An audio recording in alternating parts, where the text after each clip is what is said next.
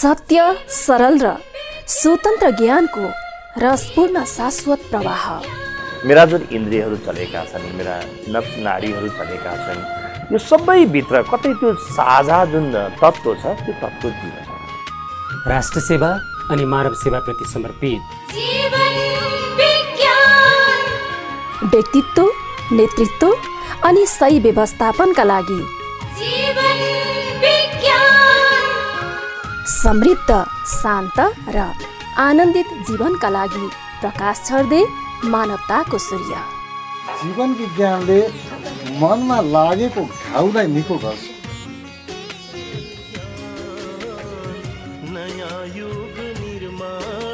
जीवन विज्ञानका साथमा हरेक दिन बिहान छ बजे कान्तिपुर टेलिभिजनमा।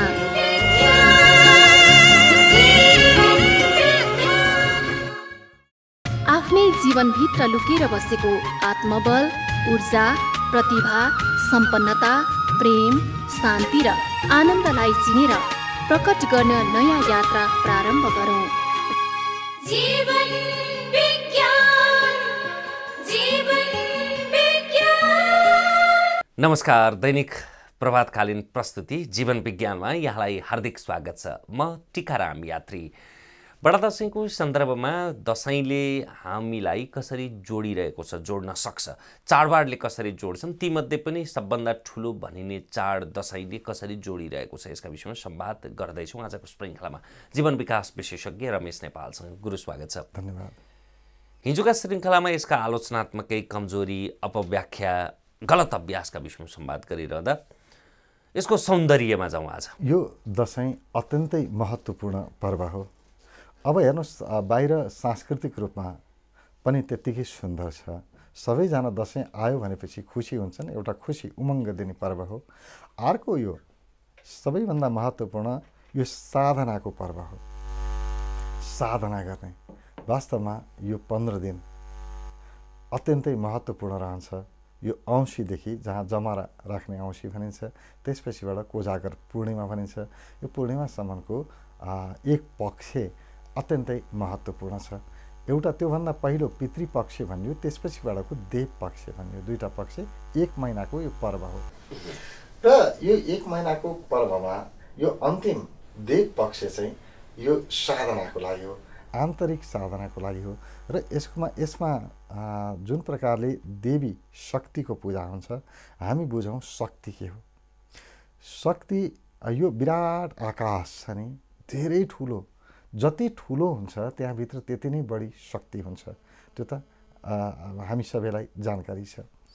र यति ठुलो विराट ब्रह्माण्ड यति ठुलो महासागर यति ठुलो आकाश छ यहाँभित्र शक्ति जब उत्पन्न हुन्छ यो उत्पन्न हुने शक्तिलाई हामीले यो शक्ति स्वरूपमा देवीको रूपमा ल्याउँ। अथवा हामीले के मानौँ भने एउटा समुद्र छ समुद्र शान्त छ। शान्त रहुन्जेलसम्म त्यसलाई हामीले शिव भन्यौँ। अथवा त्यसलाई हामीले विष्णु भन्यौँ। स्थिर तत्त्वको रूपमा ल्याउँ अथवा त्यसलाई हामीले पुरुष भन्यौँ। र त्यहाँबाट जुन छाल उत्पन्न हुन्छ शक्ति उत्पन्न हुन्छ त्यो उत्पन्न हुने छाललाई शक्तिलाई हामीले देवी रूपमा ल्याउँ र यो देवी यो छाल कहाँ छ यो समुद्र कहाँ छ यसलाई हामीले खोजी गर्नु छ हेर्नु छ। हामी जब आँखा बन्द गर्छौँ आँखा बन्द गरेर हेर्छौँ अँध्यारो देखिन्छ। अहिले सुरुमा हेर्दा त अलिअलि अँध्यारो अलिअलि उज्यालो देखिन्छ। आँखा बन्द गर्ने बित्तिकै पूर्ण रूपमा अँध्यारो देखिन्न। तर तपाईँले बन्द गर्नुभयो र निरन्तर त्यहाँ प्रतीक्षा गर्नुभयो हेरिरहनुभयो केही समयको अभ्यासपछि यति ठुलो अँध्यारोमा प्रवेश हुन्छ त्यसैलाई यो महाकाल पनि भनियो त्यसैलाई काली भनियो। देवी भनेकै त्यही हो। जहाँ शक्ति त छ भित्र देखियो आँखा बन्द गर्दाखेरि यस्तो शक्ति उत्पन्न भएको अनुभव हुन्छ तर भयानक अँध्यारो। पहिलेको अलिअलि उज्यालो अलिअलि अँध्यारो यो आँखा बन्द गर्दाखेरि देखिने आकाश रहेन।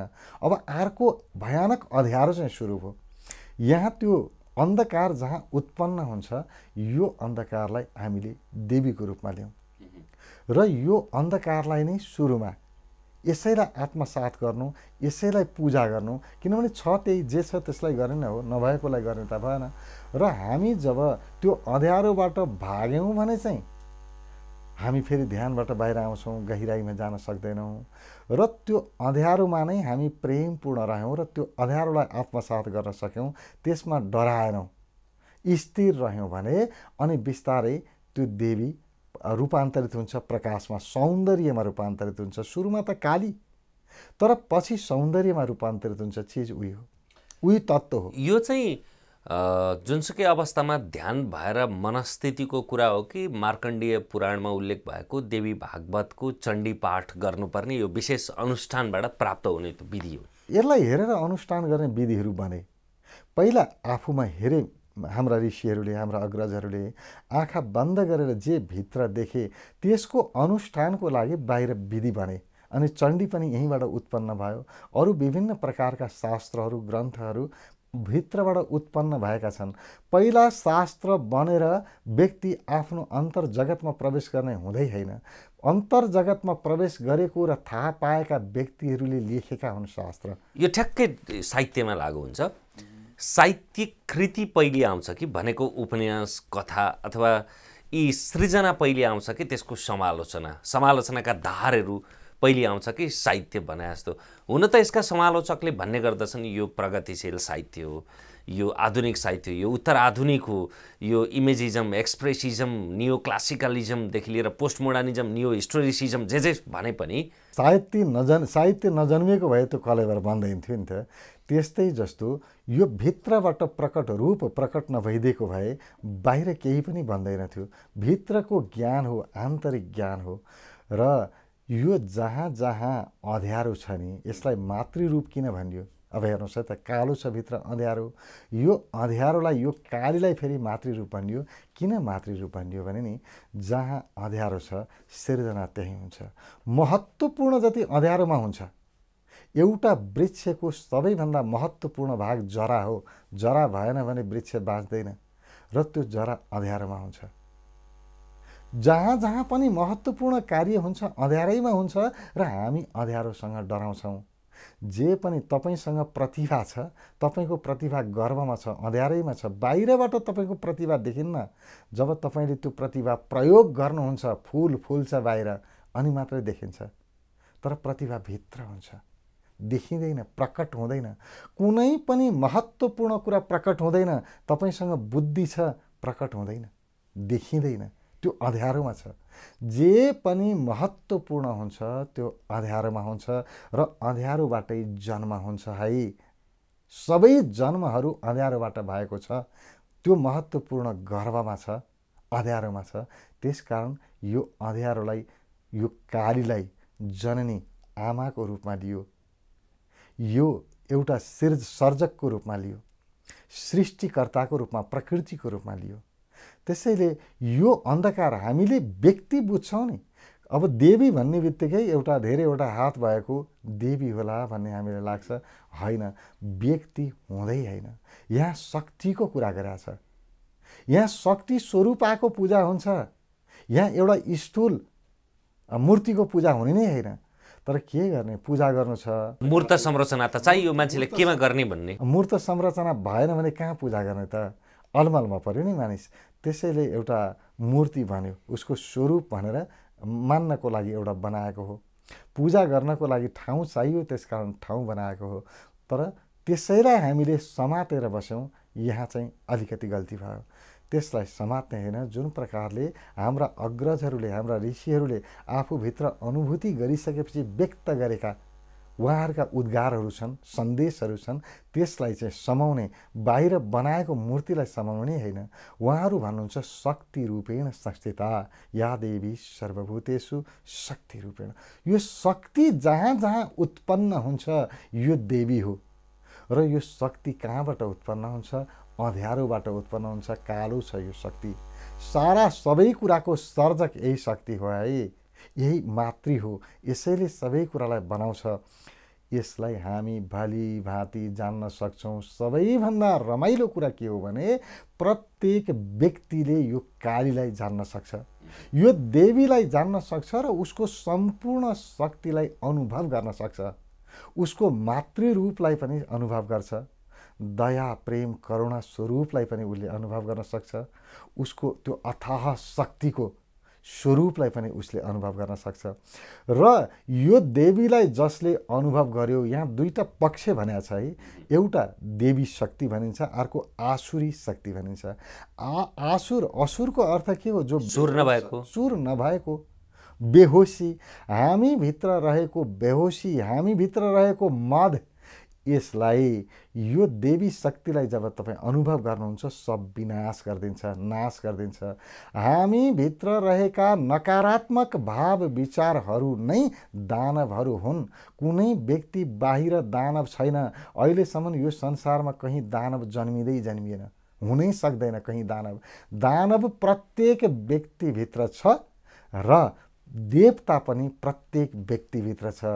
यो दानवको संहार गर्ने देवी पनि प्रत्येकभित्र छ र यो देवीसँग युद्ध गर्ने दानव पनि प्रत्येक व्यक्ति व्यक्तिभित्र छ। हामीसँग भएका नकारात्मक भाव विचारहरू नै दानव हुन्। हामीभित्र रहेको प्रेम करुणा सद्भाव सम्मान यो नै देवी शक्ति हो। यो संवादलाई हामी अझै जारी राखौँ। आज हामी बडा दसैँको सन्दर्भमा दैविक शक्ति जागृत गर्ने देवी अथवा महाकालीको अनुष्ठान किन गर्छौँ त्यो हाम्रो सबै काया मात्रै होइन मनस्थिति सबै कुरा नै यहीँभित्र छ। यसका बिम्बात्मक रूपमा हामीले प्रतिक्षय बाया निर्माण गरेका हौँ यसका विषयमा संवाद गरिरहेका छौँ। यो क्रम अझै जारी छ। हामीसँगै रहनुहोला।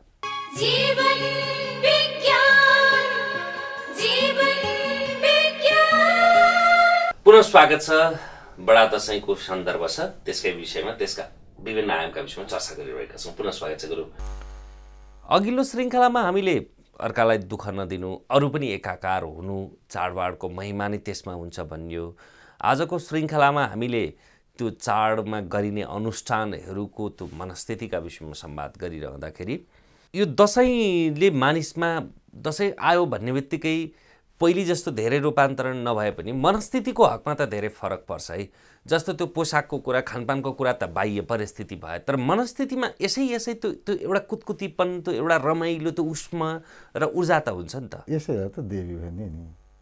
देवी भनेकै यही हो नि। जसले दिन्छ जसले तपाईँलाई खुसी दियो त्यही देवी हो। यो माहौल जुन बन्यो यसले भित्रबाट जुन एउटा उल्लास उमङ्ग आउँछ दसैँ हेर्नु वातावरणले नै उमङ्ग आउँछ कि? एक प्रकारले भनौँ यो बर्खा सिद्धिएर हिउँद लाग्न लागेको हुन्छ यो बेलामा आकाश खुलेको हुन्छ धुवा धुलो हुँदैन आकाशमा सबै बर्खाले सफा गरेको हुन्छ। यो बेलामा घाम लाग्दाखेरि नै कस्तो उमङ्ग हुन्छ। कति मानिसले भनेको सुन्छन् आहा कस्तो राम्रो वातावरण दसैँ लागे जस्तो अनुभव भएको छ। यो वातावरण नै बडो रमाइलो छ। यो शारद शरद ऋतुकै विषयमा चाडबाडका विषयमा गजलकार रमेश ओजेलको एउटा हाइक्यू सम्झेँ मैले शारदी उषा लामो रातपछि कौमार्य धुनै भने जस्तै कि? शरदको उषा चाहिँ बिहानको शरद ऋतुको प्रभात भनेको त्यो लामो रातपछि एउटी कुमारीले कौमार्य एउटी नवविवाहिताले कौमार्य धोए जस्तै चङ्गा देखिन्छ अरे। यो चङ्गा यो वातावरण बाहिर के को लागि भन्यो? यो चङ्गा राम्रो वातावरण। यो एक प्रकारले यो कौमार्य जस्तो भनौँ न एउटा शुद्धता पवित्रता यो वातावरणमै पवित्रता छ। यो किन बन्यो हामीले यतापट्टि अलिकति पनि ध्यान दिएनौँ। यो पवित्र वातावरणले हाम्रो अन्तस मनलाई पवित्र बनाउन सहयोगी हुन्छ है। त्यसकारण यो ध्यानस्थ हुने समय हो। यो अन्तर्जगतमा प्रवेश गर्ने समय हो। यो आफ्नो मनका सबै विकारहरूलाई हटाउने समय हो। हामीलाई अहिले यो भएन त्यो भएन ऊ पुगेन यहाँ पुगेन दुनियाँभरका असहमति गुनासोहरूले हाम्रो मनलाई आक्रान्त बनाएको छ। हाम्रो मनलाई एक प्रकारले विक्षिप्त बनाएको छ। केले बनायो? असन्तुष्टिले बनायो। भएन छैन यहाँ मिलेन अभावले बनायो। यो अभाव के हो? हाम्रो मन हो मनको अभाव हो। र हाम्रो मन जहाँ जहाँ जुन जुन कुरामा असहमत हुन्छ त्यहाँ त्यहाँबाट विकारहरू उत्पन्न हुन्छ र हाम्रो अवचेतन मनमा जान्छ। र अवचेतन मनमा यसलाई हामीले जम्मा गऱ्यौँ यो फोहोरले गर्दाखेरि हामी कहिल्यै पनि सुखको अनुभव गर्न सकिरहेका छैनौँ। अब यो दसैँले यो उपयुक्त वातावरण अहिले वातावरण मिलेको छ। दसैँको बेलामा आफै वातावरण मिलेको हुन्छ। यो बेलामा यदि हामीले साधना गऱ्यौँ र आफूभित्र त्यो देवीको त्यो भयानक अँध्यारोभित्र त्यो काल रात्रिभित्र हुन्छ काल रात्रि बाहिर के को काल रात्रि भित्रको त्यो कालो रात्रिभित्र अलिकति देवीको ज्योति देखियो। थोरै मात्रै प्रकाश देख्न हामीले सक्यौँ भने हाम्रा सबै अवचेतन मनमा रहेका विकारहरू नष्ट हुन्छन्। त्यसकारण भनियो देवी शक्तिले आसुरी शक्तिमाथि विजय प्राप्त गर्यो। युद्ध त हुन्छ। तपाईँको मनमा न नकारात्मक विचार पनि छन् सकारात्मक विचार पनि छन्। ती दुईवटा विचारको बिचमा बिचमा द्वन्द्व भइ नै रहन्छ। र यो द्वन्द्वबाट मुक्तिको लागि देवीको आराधना देवीको त्यो अँध्यारोमा तमसोमा ज्योतिर्गमय। यो अँध्यारोबाट यदि उज्यालोतिर गयो व्यक्ति थोरै मात्रै पनि आफ्नो प्रकाश आफ्नो हुनुको प्रकाश भगवान् बुद्ध यसलाई अप अप्प ज्योति भव अप्प दिपो भव भन्नुहुन्छ। आफ्नो ज्योति आफ्नो दीप आफू बना। आफ्नो लागि प्रकाश आफै सृजना गर।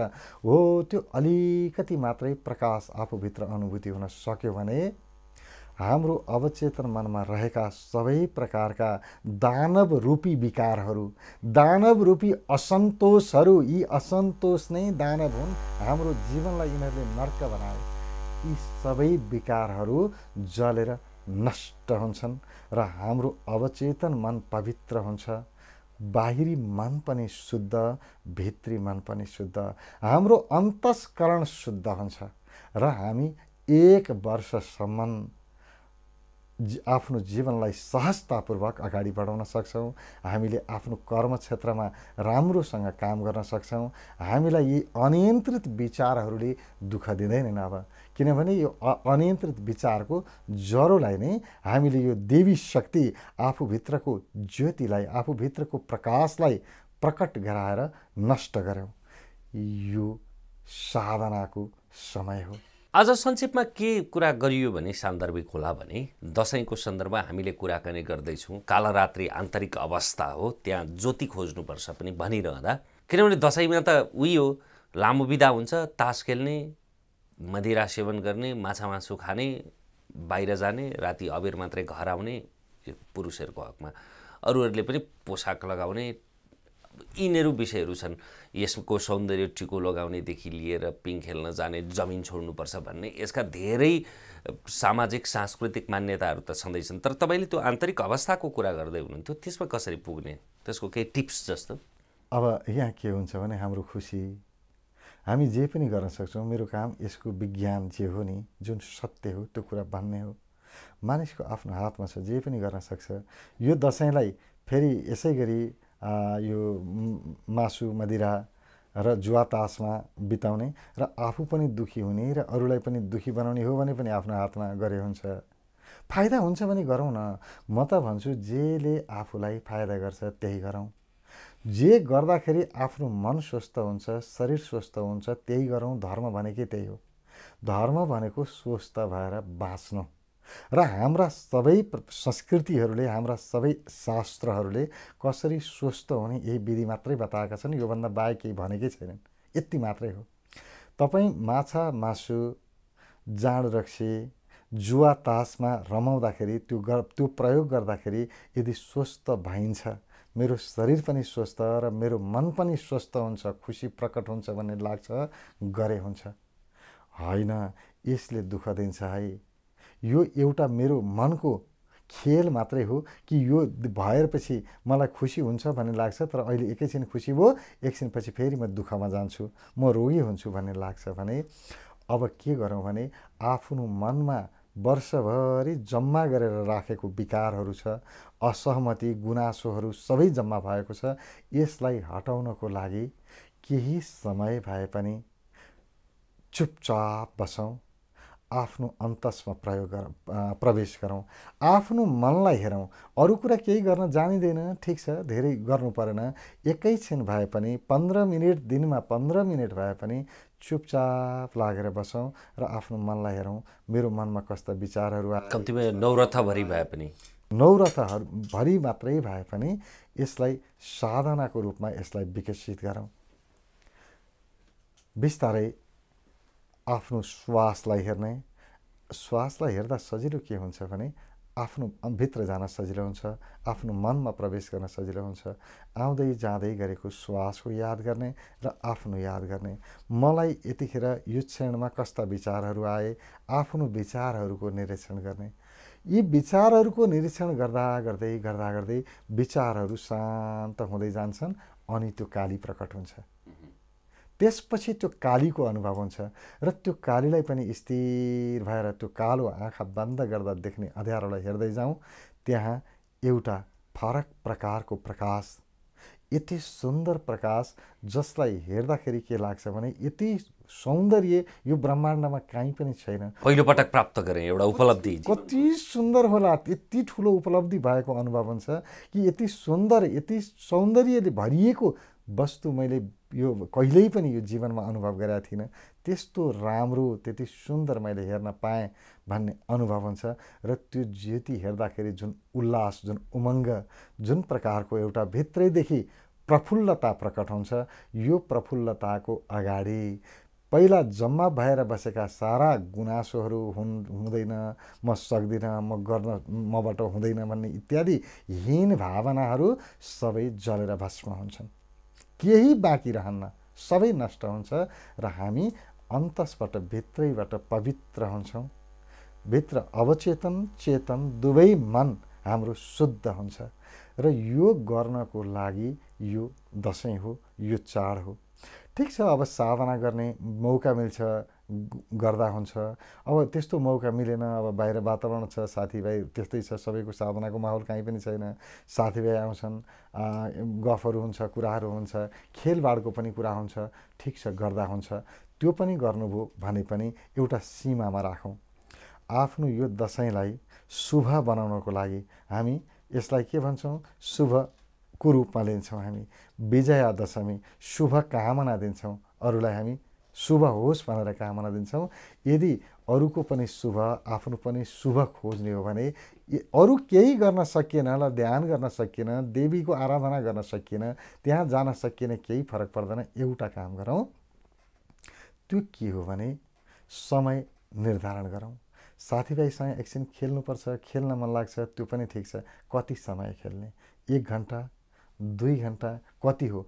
आफ्नो समय सकिएपछि घर आउने बानी बसौँ मेरो परिवारको लागि यति समय पूजापाठको लागि यति समय अरू खेलबाडको लागि यति समय सबै मनोरञ्जन गर्ने समय छुट्याउन सबैलाई दिउँ अनि सबै खुसी हुन्छन् सबैजना सुखी हुन्छन् र अरू सुखी भएपछि मात्रै आफू सुखी हुन सकिन्छ कि? एक्लै सुखी हुन सकिन्न। हामी उल्टो दिशामा छौँ। म खुसी भएपछि पुगिहाल्यो नि भन्ने हामीलाई लाग्छ। होइन म खुसी भएर पुग्दैन। एकैछिनपछि फेरि दुःखी हुन्छु। किनभने मेरो वरिपरि भएका मानिस दुःखी छन्। म एक्लै सुखी हुन सक्छु र सक्दिनँ। त्यसकारण परिवारको लागि पनि समय छुट्याउने घरको कामको लागि समय छुट्याउने पूजापाठको लागि समय छुट्याउने अनि एकैछिन खेलबाड गर्नको लागि कति समय चाहिन्छ त्यसलाई पनि समय छुट्याउने। यसरी हामीले एउटा तालिका अनुसार काम गर्न थाल्यौँ। यस यो तालिकामा अझ थोरै एक घन्टा डेढ घन्टा ध्यानको लागि आफ्नो स्मरणको लागि आफ्नो यादको लागि म कस्तो छु मेरो बानी बेहोरा कस्तो छ आचरण कस्तो छ म हुँ कस्तो आफूलाई जान्नको लागि पनि समय छुट्याउन सक्यौँ। अझ त्योभन्दा पनि गहिरो आफूभित्र रहेको देवी शक्ति त्यो काल रात्रि उसको दर्शनको लागि पनि समय छुट्याउन सक्यौँ भने त झन् सुनमा सुगन्ध हुन्छ। हुन्छ बडा दसैँको शुभकामना यहाँलाई यहाँ लगायत सबै दर्शकहरूलाई पनि। मेरो तर्फबाट पनि सम्पूर्ण दर्शकहरूलाई यो दसैँ शुभ रहोस्। र हामी अरूलाई पनि र खुसी बनाउने र आफूलाई पनि खुसी बनाउने एउटा पर्वको रूपमा यो दसैँ मनाउन पाइयोस्। यो मङ्गलभाव व्यक्त गर्न चाहन्छु। हस् धन्यवाद। आजको श्रृङ्खलामा पनि हामीले बडा दसैँको श्रृङ्खलाका विषयमा संवाद गऱ्यौँ। हुन त कुराकानीकै क्रममा यो एक महिनाको चाड हो पितृपक्ष र देवपक्ष। देवपक्षमध्येको केही दिने श्रृङ्खलामा हामीले यो विषयमा संवाद गऱ्यौँ जीवन विज्ञानको आजको श्रृङ्खला यति नै। आज्ञा दिनुहोस्। नमस्कार। आफ्नै जीवनभित्र लुकेर बसेको आत्मबल ऊर्जा प्रतिभा सम्पन्नता प्रेम शान्ति र आनन्दलाई चिनेर प्रकट गर्न नयाँ यात्रा प्रारम्भ गरौँ।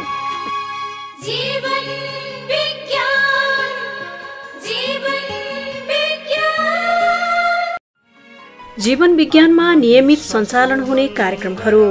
ध्यान योग हरेक बिहान छ बजेदेखि सात तिससम्म।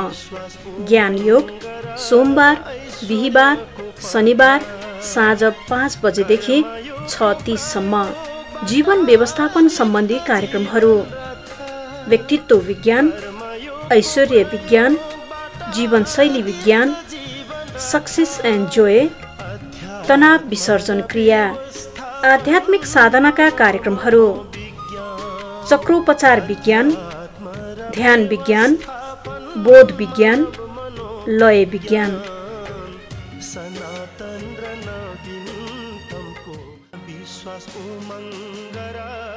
ऐश्वर्यको पथ। आत्मविश्वास उमङ्ग